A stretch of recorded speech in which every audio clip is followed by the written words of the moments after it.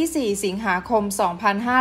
2566 เวลา 17 นาฬิกา 30 นาทีพระบาทสมเด็จพระเจ้าอยู่หัว และสมเด็จพระนางเจ้าพระบรมราชินี เสด็จพระราชดำเนินไปทรงเปิดงานโครงการหลวง 54 ณ ศูนย์การค้าเซ็นทรัลเวิร์เขตปทุมวัน กรุงเทพมหานคร โดยมีพลเอกกัมปนาตรุดดิต องคมนตรี ประธานกรรมการบริหารมูลนิธิโครงการหลวง ประธานกรรมการอำนวยการจัดงานโครงการหลวง นายจงรักวัชรินทร์รัตน์อธิการบดีมหาวิทยาลัยเกษตรศาสตร์ นายณรงค์ชัยพิพัฒน์ธนวงศ์กรรมการบริหารมูลนิธิโครงการหลวง นางสาววัลยาจิราธิวัฒน์กรรมการผู้จัดการใหญ่และประธานเจ้าหน้าที่บริหาร บริษัทเซ็นทรัลพัฒนาจำกัดมหาชน และเจ้าหน้าที่โครงการหลวงเฝ้ารับเสด็จ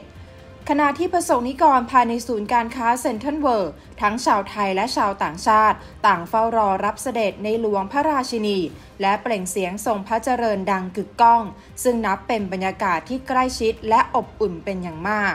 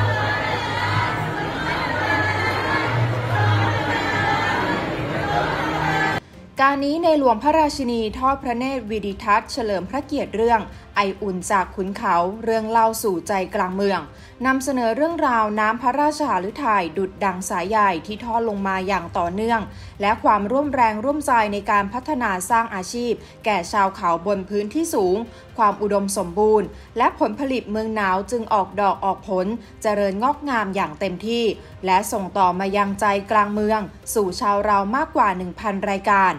จากนั้นทอดพระเนตรนิทรรศการแสดงผลสำเร็จของมูลนิธิโครงการหลวง ต่อมาทอดพระเนตรร้านจำหน่ายผักผลไม้ ผลิตภัณฑ์แปรรูปของมูลนิธิโครงการหลวง อาทิ อาหารเมนูพิเศษจากยอดดอย ร้านครัวโครงการหลวง ร้านโครงการหลวงทุ่งเริง ร้านโครงการหลวงห้วยลึก ร้านโครงการหลวงตีนตก ร้านโครงการหลวงอินทนนท์และร้านโครงการหลวงอ่างค้าง